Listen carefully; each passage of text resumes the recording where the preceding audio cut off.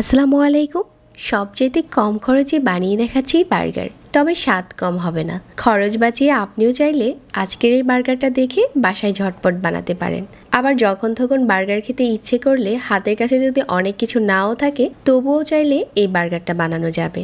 বার্গারটা যেহেতু কম খরচে বানাচ্ছি, তার কারণে আমি আগে থেকে একটা আলু সিদ্ধ করে নিয়েছি আর আলুটা গরম থাকা অবস্থাতেই ম্যাশ করে নিচ্ছি। আলুটা আমি খোসা ছাড়িয়ে তারপর সিদ্ধ করেছি। গরম থাকা অবস্থায় আলুটা মেশ করলে খুব ভালোভাবে মেশ হয়ে যায়। এখন এই আলুর মাঝে দিয়ে দিচ্ছি হাফ চা চামচ টেস্টি মশলা। তারপর ধনে পাতা কুচি দিয়ে দিচ্ছি এক চামচের মতো হবে। খুব মিহি কুচি করে নেওয়া। স্বাদ মতো লবণ দিয়ে দিচ্ছি। এখন আলুর সাথে এই সবগুলো উপকরণ মিশিয়ে নিচ্ছি। আজকে আমি একটা বড় সাইজের আলু সিদ্ধ করে নিয়েছি আর এখান থেকে দুইটা বার্গারের পেটি বানানো যাবে। আপনি যদি খরচ বাড়াতে চান, তাহলে এখানে চিকেন অ্যাড করতে পারেন আলুর সাথে। তবে আজকে আমি শুধু আলু দিয়ে বার্গারের পেডিটা বানিয়ে নেব। তো প্রথমে গোল করে নিয়ে, তারপর হচ্ছে চ্যাপটা করে নিচ্ছি। আর সাইডটা একটু সমান করে দিচ্ছি। এখন একটা বাটিতে নিয়ে নিচ্ছি, একটা ডিম। ডিমটা ভালো করে কাটা চামচ দিয়ে ফেটিয়ে নিচ্ছি, আর নিয়ে নিচ্ছি বেডগ্রাম প্রথমে ডিমে ডুবিয়ে, তারপর হচ্ছে বেডগ্রামে গড়িয়ে নিচ্ছি। ভালো করে ডিমে ডুবিয়ে নিচ্ছি আর এখন বেডগ্রামে গড়িয়ে নিচ্ছি। এভাবে করে ভালো করে গড়িয়ে নিয়েছি, আপনি চাইলে দুইবার করে ডিমে ডুবিয়েও বেডগ্রামে গড়িয়ে নিতে পারেন। আমি একবারই করে নিয়েছি আর ভালো করে বেডগ্রাম লাগিয়ে নিচ্ছি।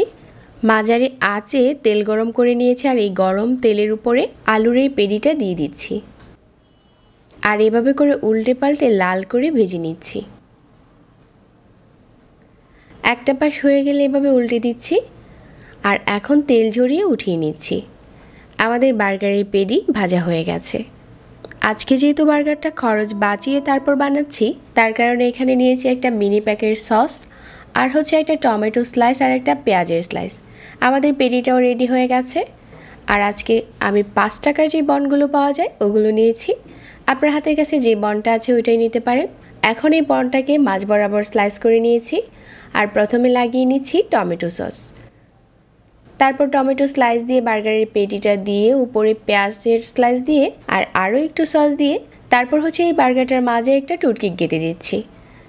আমাদের কম খরচে বার্গার রেডি হয়ে গেছে। আশা করছি আমার আজকের এই সহজ বার্গারের রেসিপি সবার কাছে ভালো লেগেছে। রেসিপি ভালো লাগলে চ্যানেল সাবস্ক্রাইব করবেন আর আমাদের পেজ ফলো করবেন। এরকম আরও সহজ নতুন রেসিপি পাওয়ার জন্য। আজকের রেসিপি দেখার জন্য সবাইকে ধন্যবাদ জানাচ্ছি। আর আজকে এখানে বিদায় নিচ্ছি। আল্লাহ হাফেজ।